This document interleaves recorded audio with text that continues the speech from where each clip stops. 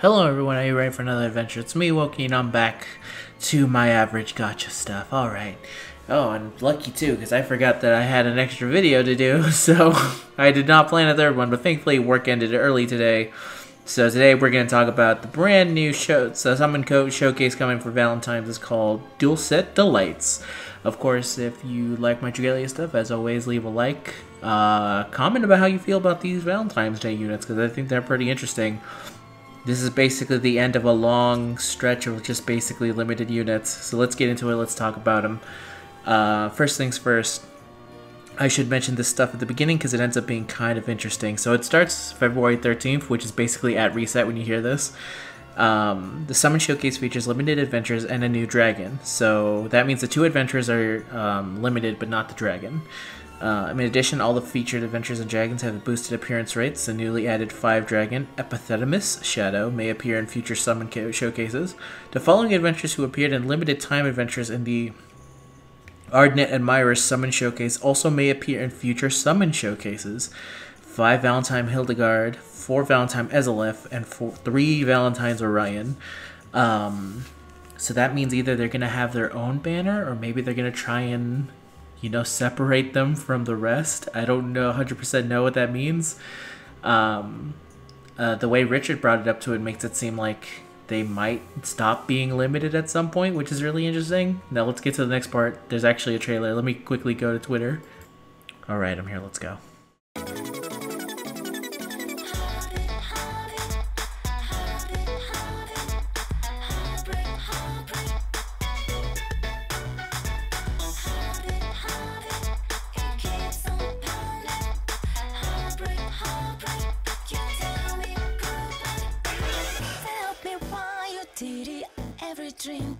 Falling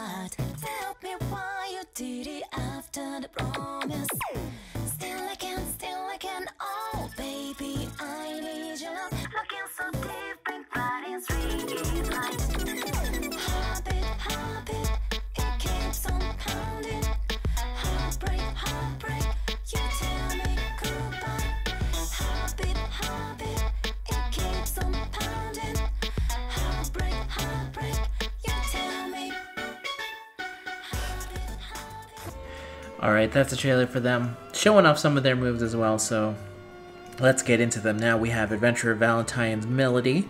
This is the first date of my life, and I'm not going to mess it up, as she says in the trailer. Melody throws her best out for Valentine's Day. Valentine's date. Despite being accident prone as ever, she's also an optimistic kind of gal. She baked a host of treats for you to know who's filled them with love. But will her feelings be repri- replicated? Reproduced? Replicated. Alright, her skills. Now you'll see what I'm made of. Good pun. Deals wind damage to the enemies directly ahead and creates a debuff zone that lasts for 10 seconds and reduces the defense of enemies inside of it for by 15%. A splash of affection deals wind damage to an enemy directly ahead and inflicts poison.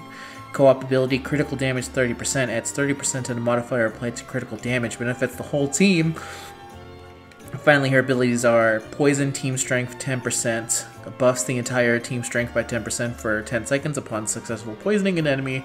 After activation, this ability will not act again, activate again for 5 seconds. Block resistance 100%, and Poison Punisher 30%. So, um, when uh, when we were when talking in the Trash Alliance Discord, um, or I was at least I was talking to Larry. I can't remember where he said it, but he is very interested to see how Valentine's Melody kind of does to um, the High Dragon Trial for Mercury HMC. Uh, especially because a lot of that fight is kind of like standing in one place if you're attacking. It's three attackers, and then one person is basically running, running around like a scared chicken, trying not to get killed. But the main thing is that the three attackers are nonstop, just like whacking them ahead. And with her having Poison Punisher and poisoning at the same time, and also having a defense down, and also being able to buff the entire team strength for 10% and crit damage, I don't know. I think she'd be really good in there. It might actually pave the way for someone besides Welly, um, wedding Ellie, bride Ellie, you know, because the current I think the, turn, the current best team count is one Noel, one Victor, and then two bride uh, uh, Ellies. So I don't know. I'm interested to see. Uh, hopefully, she does kind of shake that up because I actually super don't like High Mercury. Um, we're trying to plan a video of it, and I'm trying to learn it, and it's just so much stupid things to learn, uh, and it's super annoying. So if she makes it actually super easy to kill it, she might be my girl to get, especially being limited. Why? Uh, why are you limited? She also will probably replace Lin You as terms of axe unit, except for when I think you need defense, because I think Lin You is more about defense than anything else. Anyway, that's Melody. I like her. I like how she looks. Interested to see how she does in specifically her environment. And now let's go down to the adventurer, Valentine's 8. I also say, in terms of girl, I was not expecting Melody, but hey, why not? Need to show more love to all the units in Dragalia, because trust me, there's a lot. Next one, Valentine's Addis. Is it Addis or Addis? Let's go with Addis. I'll face your feelings with my whole heart.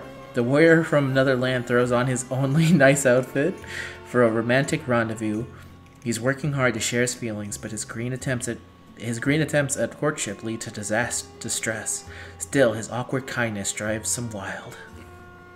Course Judgment deals shadow damage to the target and nearby enemies and inflict poison. The lower the user's HP, the more damage the skill does. Love's Triumph. If the user's HP is less than 30% their max HP, when using this skill, grants all teammates one use shield that nullifies damage less than 30% of the user's maximum HP. If the user's HP is above or equal to 30% to their max HP, when using this skill, reduces their HP to 20% of max HP and grants them a one use divergent shield that nullifies damage less than 80% of the user's maximum HP. Divergent shields can stack with ordinary shields. Co-op ability skill haste, poison punisher 30%, paralysis resistance 100%, and HP below 30% equals strength and attack rate. Up increases the strength by 20%, attack rate by 10%, and HP is below 30% or below. So similar to Lucas Stalker, I can't remember. It's the red bow unit where they kind of get the lower HP they are, the stronger they are. The difference is that this guy has a shield. That shield is nuts. And also having um, Poison Punisher is nuts, especially because he goes so well with the new dragon here. Um, this is definitely one of those fights that I'm not too familiar with, so I'm not sure how he'll affect there. I understood Lerp was kind of... Lerp is my go-to, by the way. Anytime I have any questions, I always ask Lerp, who is one of the co-founders of Trash Alliance next to uh, Nabe, aka Jom. Shoutouts to both of them if they're watching this, by the way. Anyway, back to this guy. I don't know, I think he seems pretty cool to me. Uh, I think this is a weird dude to add for Valentine's Day, by the way. But I'm kind of digging it. Not your traditional handsome dude, but he looks buff as hell. He's he's brown, so I'm automatically down with the brownness anytime I see brown character representation. Him and Victor are freaking awesome looking too. I love their designs. So I wouldn't be too sad to get this guy right here. Especially since he seems really weird. Like, in terms of how he's deals damage. The one thing I'm wondering is, you know, the Berserker style of a of unit where they have to be super low HP to do anything. I don't know if that's my style of play, but you know what? I'm interested to see how I'm I'm I'm willing to see and wait to see what people do with this guy because he seems like on paper he'd be pretty fun.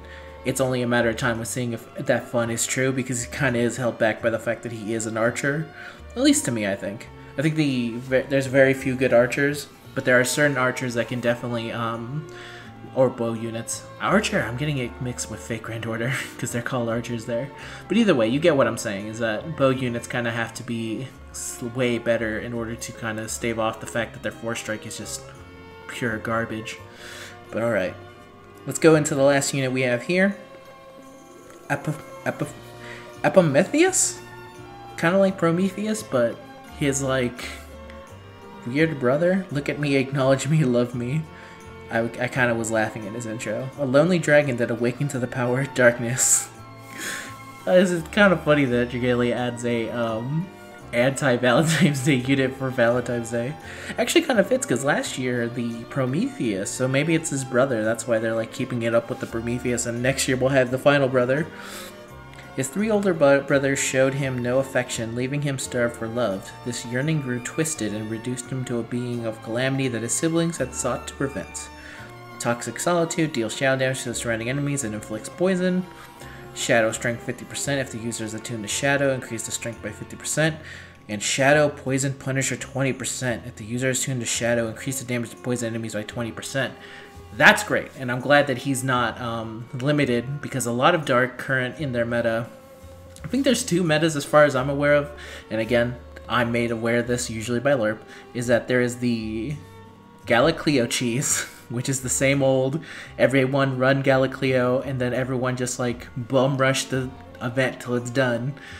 Uh, and then there's the Poison Punisher team, which is a team filled with usually dudes who have their mana uh, spirals, like Lathna. Um, I want to say her name's Claudia, but that's not her name. Um, is it Doxy? Delphi? There you go, it's Delphi. It's all the Shadow dudes who basically have anything to do with Shadow, and they're um, Shadow Poison, and exploiting Poison Punisher until they're dead. So this dragon definitely fits into one right there. So, and I'm glad he's not limited because that would actually be real bummer if the Poison Punisher Dragon. It's similar to how um, for Dragule that um, that dragon was Paralyzed Punisher, and so this one's Poison Punisher. Only kind of fitting. So I'm glad he's not limited. But yeah, that's that's Dulcet Delights. I think I'm gonna have a summon video for this. Um, this is the hard part of the video where I feel like I don't know if you should like summon for these dudes. I think Melody's definitely worth it. I think Addis is really cool. But are both like is both of them worth? Especially since a lot of people are tapped out after Monster Hunter. Monster Hunter bled people dry, especially once it was revealed how crazy good Hunter Sarisse was. So I don't know. Hopefully they throw out some free multis. I would love it.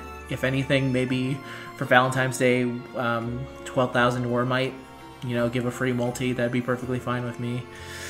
But yeah, this is the last of the limited banners, and then it's back to saving. We're also going to get a new um, chapter pretty soon. Now, I can't show it here. I think I can show it here, actually. One moment. Let me do another quick pause, and I'll show you what I'm talking about. Alright, so this was found in the data mines. It is the uh, the dragon for Chell, your sister, Katsith. I, I believe is that how you pronounce it? Kate Sith? depending on which whatever. Anyway, Katsif, he's found in the data downloads. I don't know what it could mean. I think there might be some hints that the next. I think this is definitely for next story chapter because I don't think see them releasing this dude on Valentine's Day. But chances are the next chapter will deal with your sister and her dragon, and if which case there will probably be a boss battle, and then maybe finally, since now that all the gala units basically have all the main cast characters except for Alex and the new robot girl that joined us. I can't remember her name. She's never in any story stuff. Um, they don't have gala units, but I think it might be finally time for them to add Chell to the party. so maybe, you know, this is all speculation on my part. It's literally just a picture of a fat cat, so we'll see how it goes. But yeah, that's the last thing I want to talk about. Now go back in here. All right.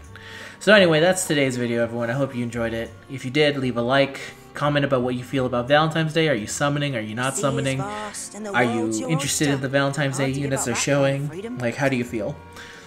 and finally, with that, if you're not subscribed, please subscribe. Hey, I do a lot of good stuff. I play Phoenix Wright even though no one watches it.